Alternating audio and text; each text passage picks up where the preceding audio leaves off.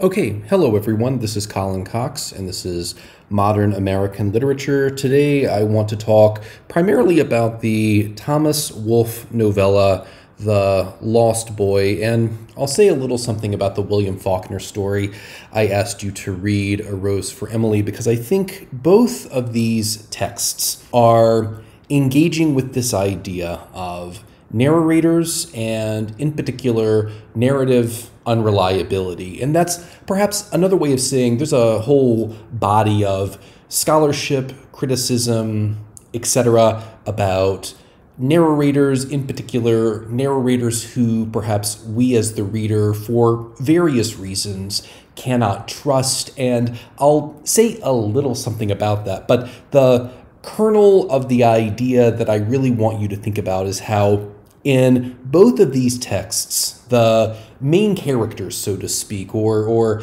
the characters who seem to drive the narrative more than anything in their absence, don't necessarily have an opportunity to narrate their own experiences. We get at these characters, or we get to these characters through these other characters and through these other narrative voices. There's there's something mediating for us as readers. There's something mediating our experience with and our understanding of again, maybe not the protagonists of each story, but definitely the characters in each story or the characters in each text that really drive the narrative. So, I wanted to start today with Thomas Wolfe's The Lost Boy. And this is certainly an interesting and a lovely novella. And when I say novella, it's just a long story or a short novel. It fits in that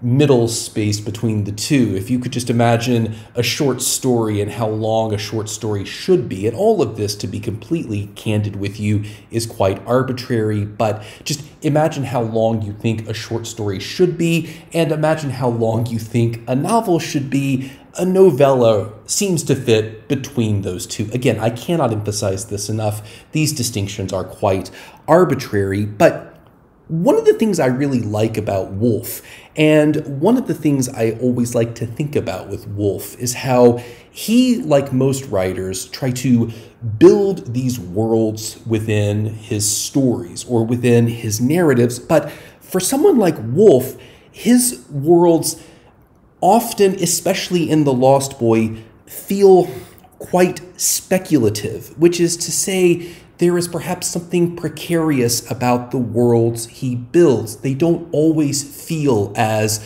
stable and coherent as perhaps we want, or perhaps they're not as stable and coherent as we think of when we think of narrative worlds. And I think the reason why is simply because evocation, and I'll talk about that word in just a minute, but evocation matters more than form. Or that's another way of saying noise matters more than the world. And just to quickly summarize what I what I think or what my take is, I think the feeling that Wolfe tries to uh, provoke, or the feeling that he attempts to evoke in his narratives, matters so much more than either the narrative worlds themselves or any real sense of narrative coherency, which is why there are parts of this story that feel like stream of consciousness, like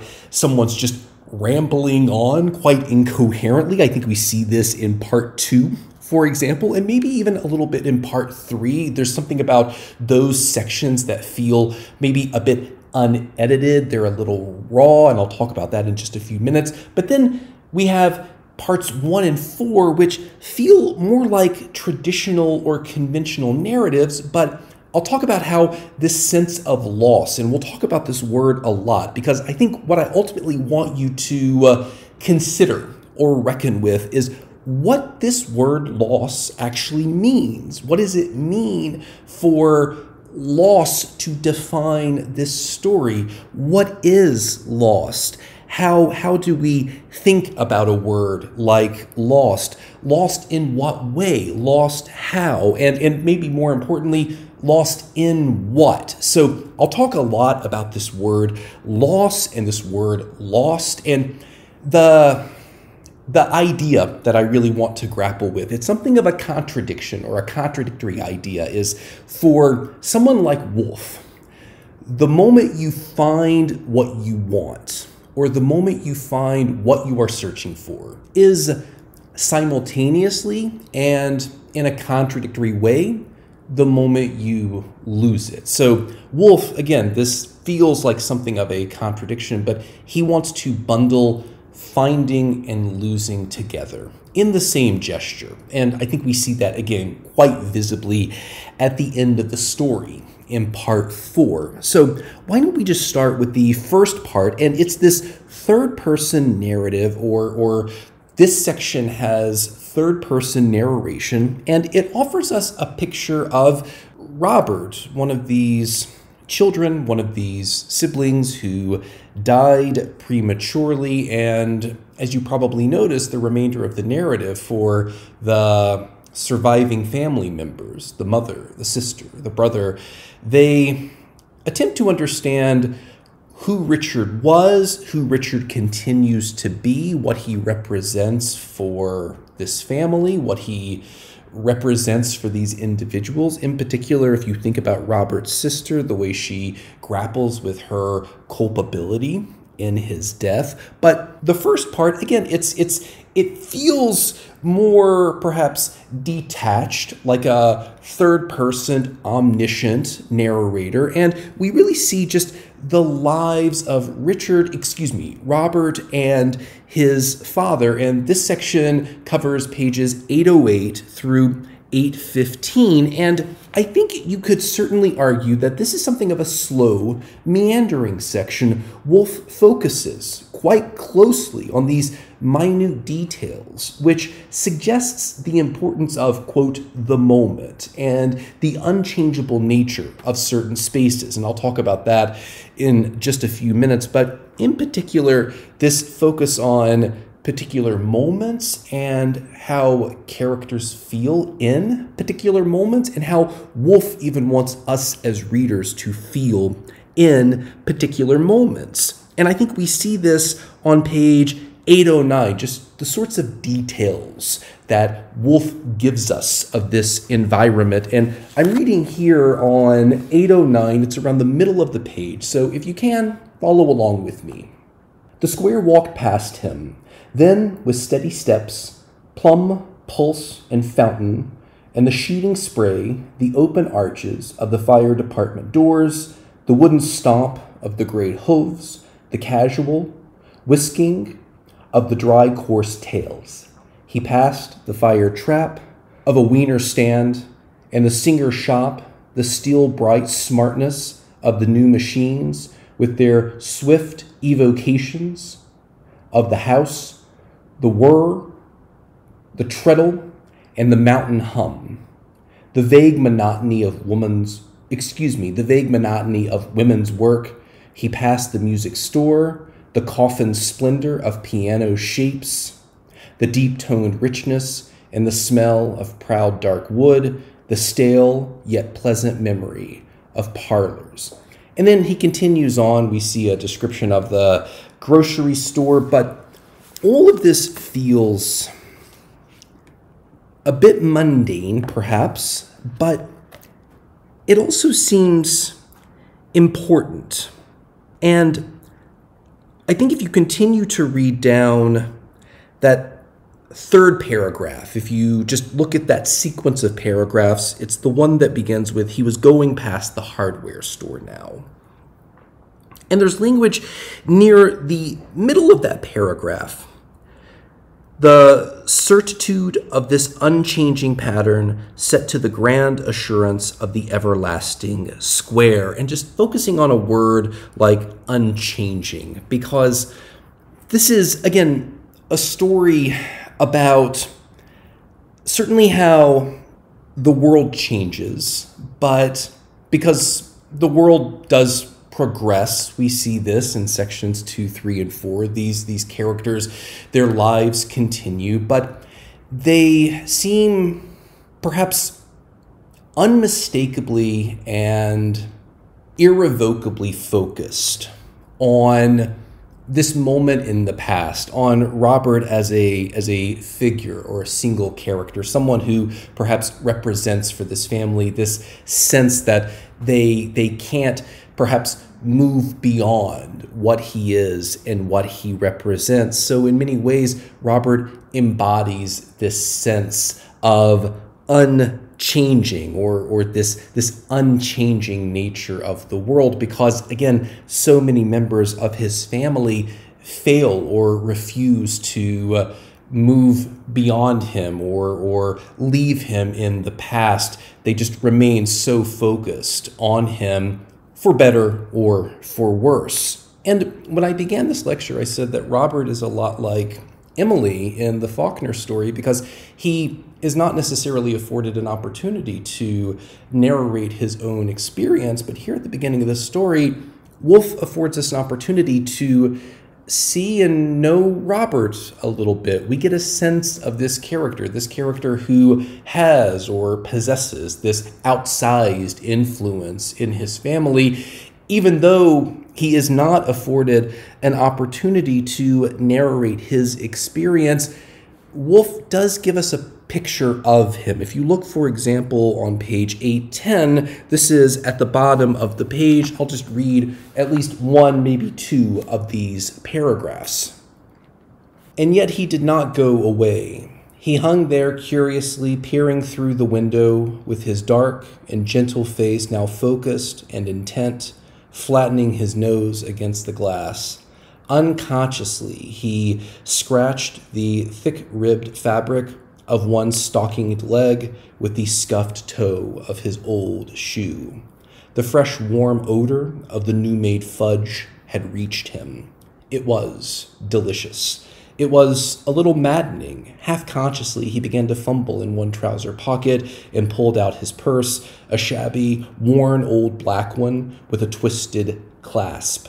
He opened it and prowled about inside. So I think what we see here, Wolfe, I think Wolfe is actually quite good at doing this. He's he's so good at just describing how children look and how children behave, that kind of, of controlled, chaotic energy. I think we see a little bit of that here. But Robert is a bit different because he seems to have, or he seems like an observer of sorts. I think that's what's really interesting about Robert is the narrative gives us this sense that he's he's quite a thoughtful and attentive young person. And even Wolfe using a word like prowl to describe his behavior. I think you could do some interesting work just thinking through what a word like prowl ultimately means. But Wolfe also gives us a picture of this father as well, this father figure who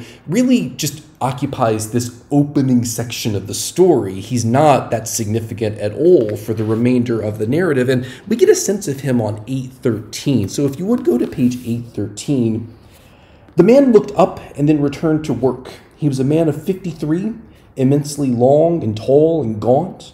He wore good dark clothes, save he had no coat. He worked in shirt sleeves with his vest on, a strong watch chain stretched across his vest, wing, collar, and black tie, Adam's apple, bony forehead, bony nose, light eyes, gray green, undeep and cold, and somehow lonely looking. A striped apron going up around his shoulders, and starched cuffs and in one hand a tremendous rounded wooden mallet like a butcher's bowl, and in his other hand, implacable and cold, the chisel. And then, of course, we hear him speak, How are you, son? So the appearance of this father is quite interesting. He possesses this degree of formality. I think we see this in his clothes. Wolfe describes his collars as starched. He wears this tie, but he does the kind of work that we don't often associate with perhaps that level or or that degree of refinement, which is what I actually like about this. I think Wolfe is giving us a picture of the past that for a lot of us seems just so elusive. And what I also like about this, it gives us a clear sense of who his father really is. I think you could do some interesting analysis of the father figure in this novella. What do these descriptions of his clothing and of his perhaps demeanor, the way he holds his body, what does that suggest about this character? Are there even moments of contradiction here, too? And if so, what are they? But I think these five or six pages, seven pages, they all lead to this moment of realization and recognition for Robert. And I think this is one of the moments early in the narrative where Wolfe starts to develop this notion or this idea that I mentioned earlier about loss and gain happening, perhaps bundled together in the same gesture. And this is on page 815 near the top of the page. And light came and went and came again into the square, but now not quite the same as it had done before. He saw that pattern of familiar shapes and knew that they were just the same as they had always been. But something had gone out of that day, and something had come in again. Out of the vision of those quiet eyes, some brightness had been lost, into their vision, some deeper color come. He could not pass, excuse me, he could not say, he did not know through what transforming shadows life had passed within that quarter hour. He only knew that something had been gained forever, something lost. So, again, I'll return to this idea in particular near the end of the story about loss and gain how again for someone like wolfe he wants to bundle all of that into the same moment or the same gesture but the thing that i would just pause over here briefly and say or perhaps just reiterate is how this is perhaps as close as we get to an unmediated picture or understanding of robert and even then i would i would use a word like or a phrase like unmediated. I would place it in scare quotes because I still think there's a sense that because Robert isn't narrating his own experience, not that if he were narrating his own experience, that would constitute an unmediated, perhaps altercation or, or encounter for us as readers, but this is about as close as Wolfe will get us to experiencing and encountering Robert in something that approximates unmediated or this is as close as we get to an unmediated experience with with Robert because the remainder of the narrative it feels like it's just an attempt to recapture what Wolfe gives us here in the opening section or in this opening part. Something something close to who robert was this this image or this notion of robert perhaps encased in amber we have this sense that perhaps in their futility his family just continues to to search for what Wolfe gives us in this opening section, or they or they do so in a in a rather futile way. So from here on the very same page, and you'll notice this break because we have now transitioned into a different section. And I think the way Wolfe reveals that to us or, or signals that to us is through the change in narrative perspective because now this is a first person narrative or, or this section pages 815 through 818 this is robert's mother 30 years after Robert's death, and this almost feels like something of a dramatic monologue. So the tone of the story changes.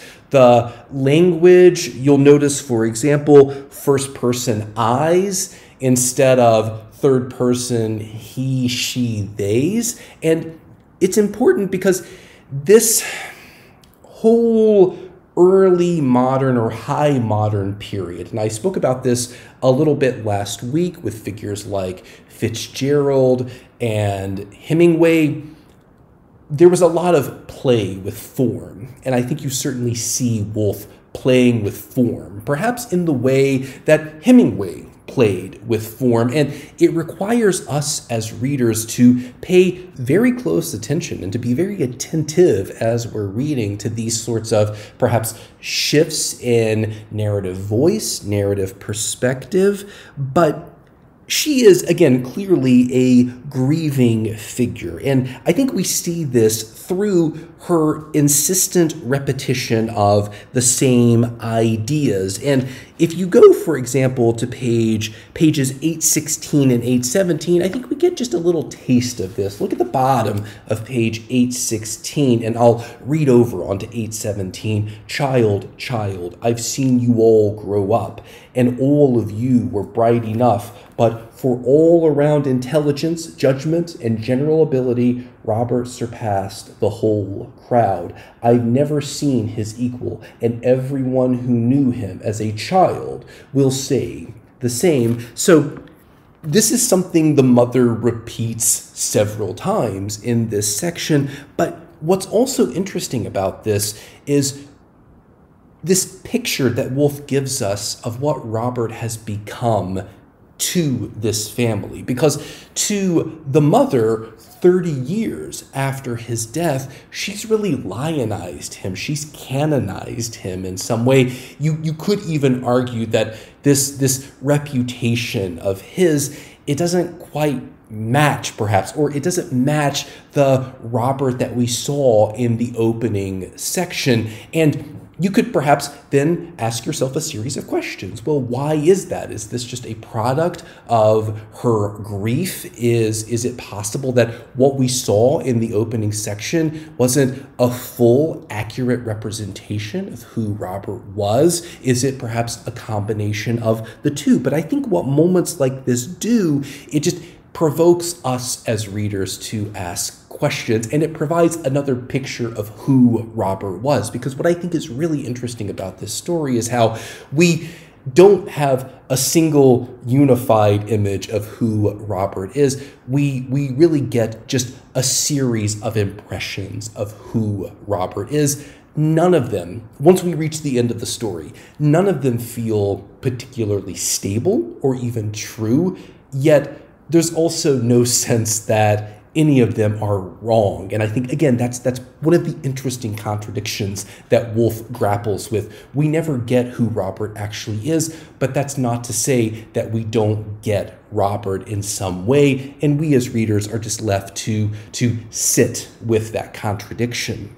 But this final image that we get of Robert from this section is one of of perhaps want and aspiration, which is to say, in his mother's eyes, Robert is a figure who always wanted more. If you go, for example, to page 818, this is right at the top of the page, and this is also the moment that ends section 2.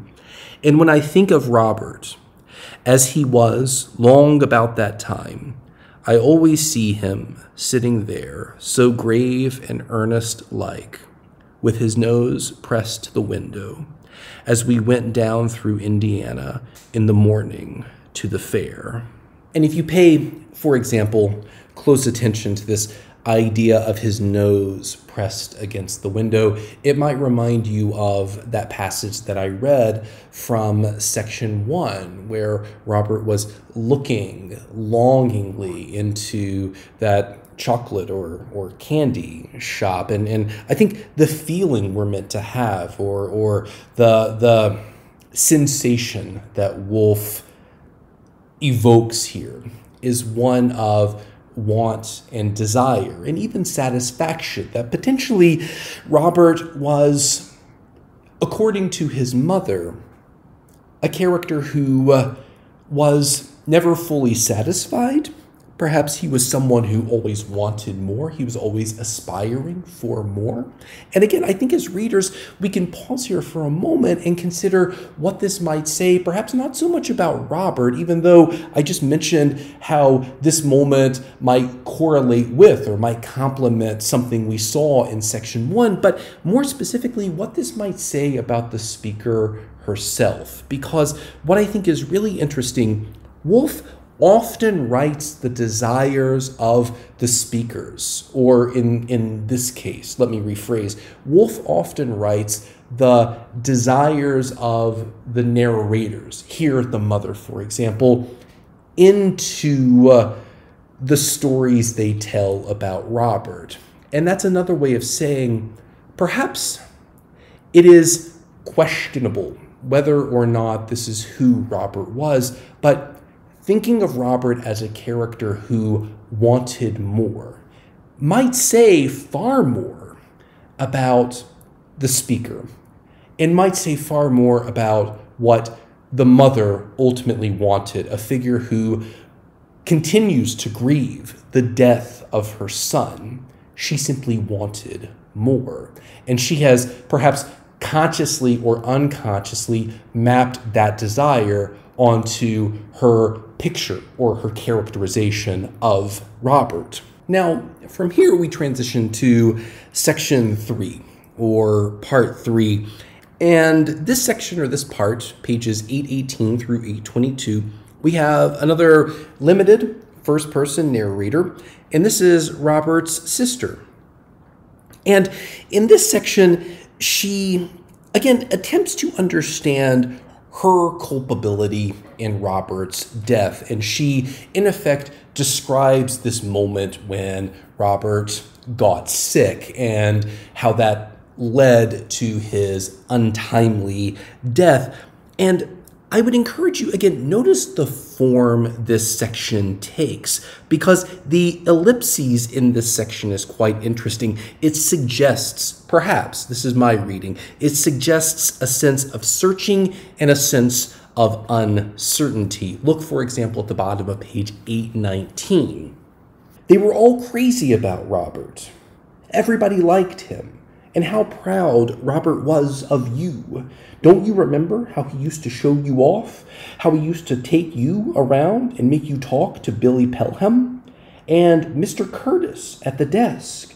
And how Robert would try to make you talk and get you to say Robert, and you couldn't pronounce the R, and you'd say Wobbit?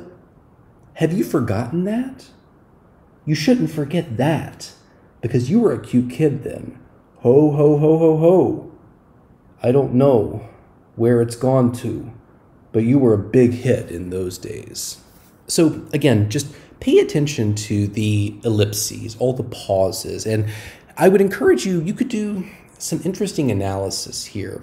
What do you think this means? Why, why would Wolfe include this? What does this say or suggest about this sister who's the narrator of this section? What does it say potentially about Robert, if anything? But what we also get in this section is just, quite frankly, this sense of hope lost. If you would, go to the bottom of page 821, and I'll read from here on to 822. I was thinking of it just the other day, and I wonder what Robert would say now if he could see that picture. For when you look at it, it all comes back the boarding house, St. Louis, and the fair. And all of it is just the same as it has always been. Again, notice things remaining the same. As if it happened yesterday, and all of us have grown up and gone away, and nothing has turned out the way we thought it would, and all my hopes and dreams and big ambitions have come to nothing. So, what's interesting here, maybe one potential way of reading this, again, you'll you'll see in a in a phrase or a construction like all of my hopes and dreams and big ambitions have come to nothing. That's another way of saying here's what I've lost, or or or let's reckon with what I've lost.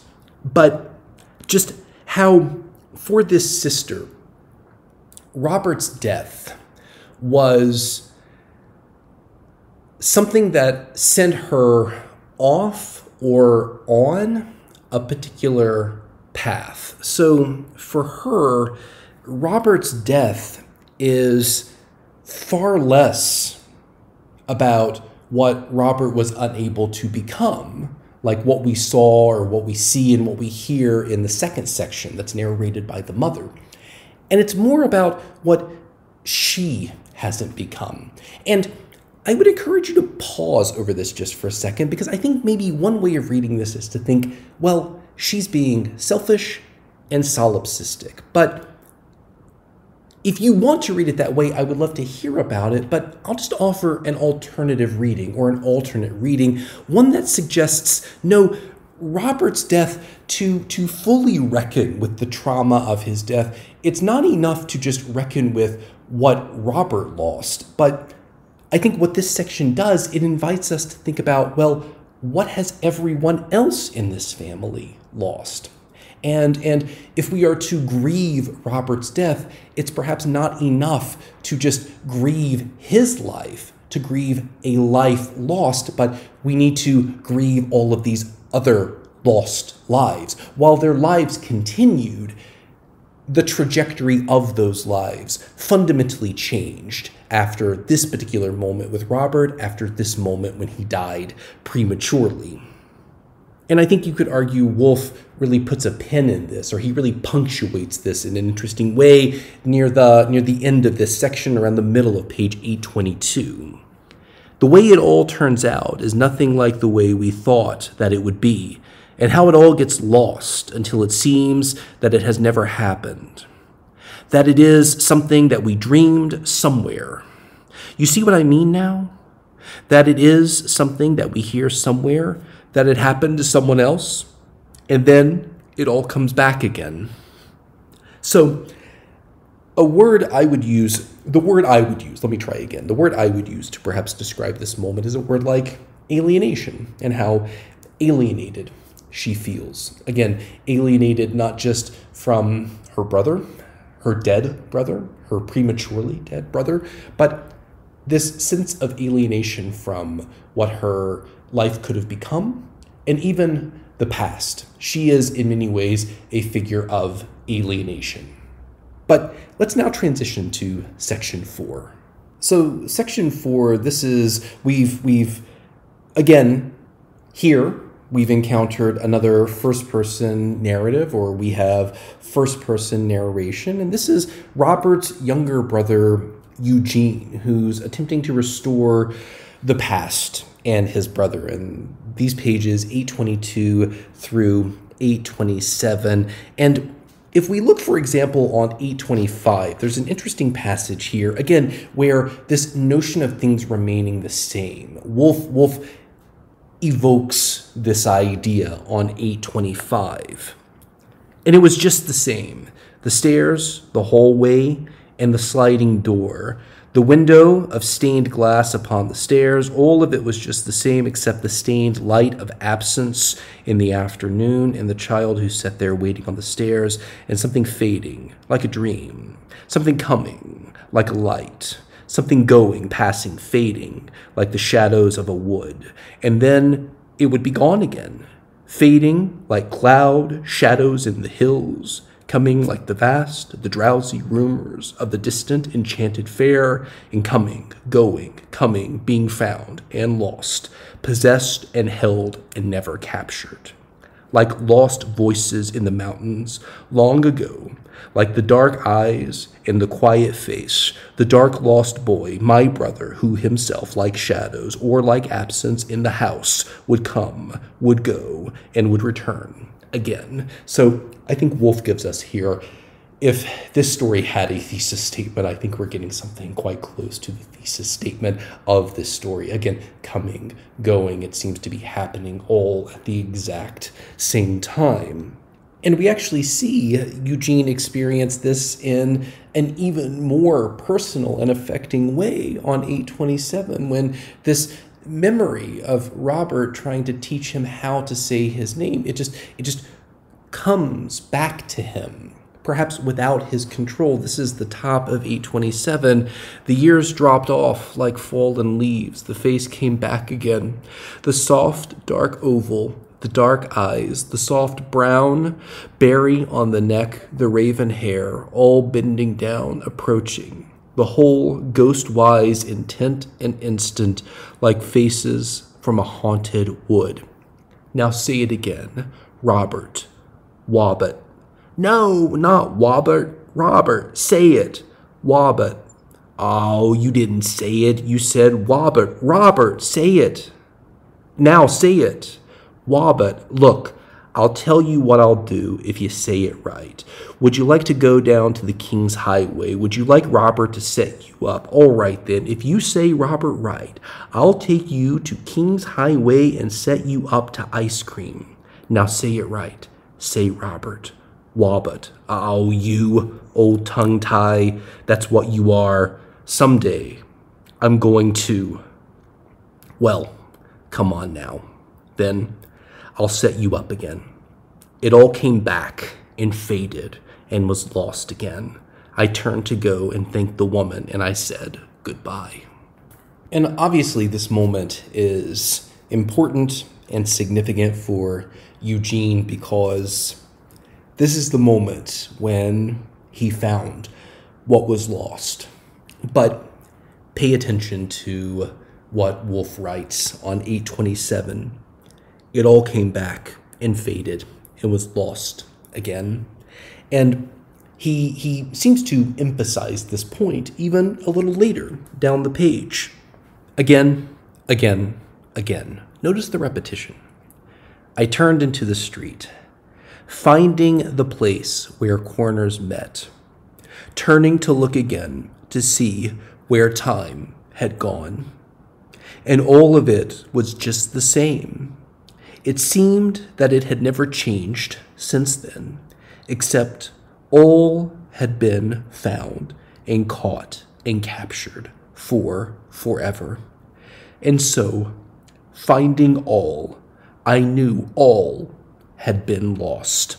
So, again, we're getting something close to a thesis statement. This is something I mentioned at the beginning of this lecture.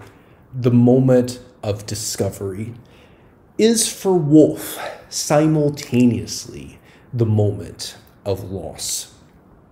And I think another way of potentially framing this is to imagine that the finding triggers the loss in some way. And I know that's that's something of a contradiction, right? You would think if you found something, how could you lose it? But I think what Wolfe wants to get at is how in finding something, what you've lost is the fantasy associated with searching for the lost object. And that moment of finding, what actually happens in that moment is perhaps you realizing that you'll never find what you're ultimately searching for. And that's perhaps maybe another way to say that is to say there is a difference between the object of desire and the object that causes desire. Because I think we often think that what we want, what we're searching for, even if we wanted to strip it down into really crude terms, like, I want this new cell phone, we think the object of desire, which is the cell phone, is the same thing as the object that causes our desire. And I don't think it's the same. I think there's something far bigger, far deeper, far more complicated and difficult to reconcile that actually drives us toward desiring things. And I think what Wolfe is getting at here is how if if what Eugene wanted was to quote find his brother, he was actually searching for something far deeper and what he's confronting here is the recognition that what he wanted or what he was searching for was not actually the thing that was causing this search. Therefore, the finding is also the recognition of a kind of loss. And I think for someone like Wolfe, there's perhaps no way out of this cycle. It's not like Eugene can recalibrate and and accurately or or effectively find Robert. Robert's just a representative figure or a symbol of an idea, something that's far more difficult to resolve and reconcile, but perhaps worth our time and worth our energy to think about and to grapple with, not just for this story, but perhaps for ourselves as individuals. So I'm at the 40 minute mark. I think I'll stop. I, again, hope you enjoyed this story. I know it's something of a challenging story, but I would say, even though I won't say a lot about A Rose for Emily, I think A Rose for Emily is quite similar in this way that Emily represents for this community that wanted to understand her something elusive, unknowable. And again, like Robert, Emily is never really given an opportunity to speak for herself. Our experiences with Emily, much like our experiences with Robert, they're heavily mediated. And that's that's perhaps something if you wanted to do perhaps or excuse me if you wanted to write an essay about narrative perspective, narrative voice, how different narrative voices mediate our understanding or, or perhaps interfere with or get in the middle of our understanding of certain characters. I think the Fitzgerald story is a great example of this. I think this is yet another fantastic example of a text that would perhaps allow you to write that kind of essay or, or perhaps afford you an opportunity to think about those kinds of ideas. So, okay, with that said, this is Colin Cox for Modern American Literature. I hope you have a wonderful day.